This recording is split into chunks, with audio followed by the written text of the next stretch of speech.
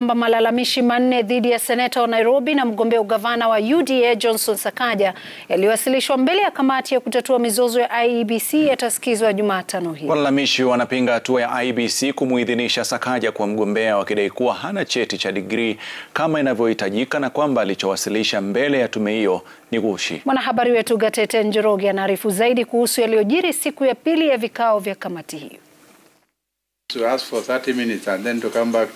Siku ya pili ya kusikizwa kwa malalamishi dhidi ya wagombea mbalimbali, seneta wa Nairobi Johnson Sakaja aliyeidhinishwa kuwania ugavana jijini kwa tikiti ya chama cha UDA alifika mbele ya kamati hiyo. Sakaja akifika kufuatia malalamishi yaliyowasilishwa na watu wanne wanaopinga kuidhinishwa kwake. Dennis Gakuo ni mmoja wa wale wanaopinga kuidhinishwa kwa Sakaja akidai kuwa hajahitimu kimasomo na kwamba stakabadhi zake za masomo alipata kwa njia ya ulaghai. Mwingine aliyetuma ombi dhidi ya Sakaja ni Evans Kaita ambaye pia aliibua swala la cheti chake. Wengine ni Alex Musalia na Timothy Ayeko wanaozua masuala sawia.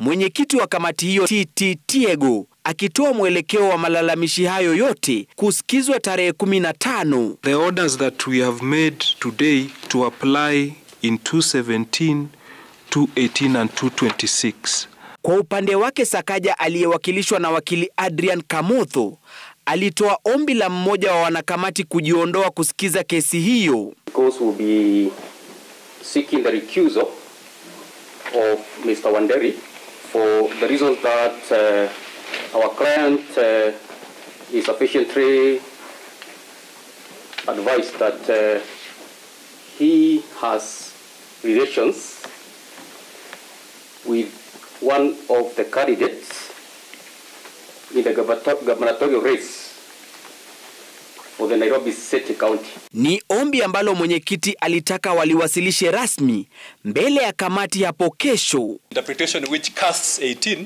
at the convenience of the candidate Kuidhinishwa kwa seneta wa Murang'a na mgombea ugavana kaunti hiyo kwa tiketi ya UDA Irungu Kang'ata pia ulipigwa dosari baada ya kamati kupokea lalama kuwa alivunja sheria kwa kumteua mgombea mwenza mwingine baada ya yule aliyemteua awali kutupiliwa mbali kwa kukosa kujiuzulu kutoka wadhifa wake kwa wakati uliofaa. Uh, run itself on Wednesday at 2.30. Kamati hiyo pia ilisikiza na kuamua baadhi ya malalamishi dhidi ya wawaniaji ubunge, useneta na wawakilishi wadi. Gatete Njoroge, runinga ya Citizen.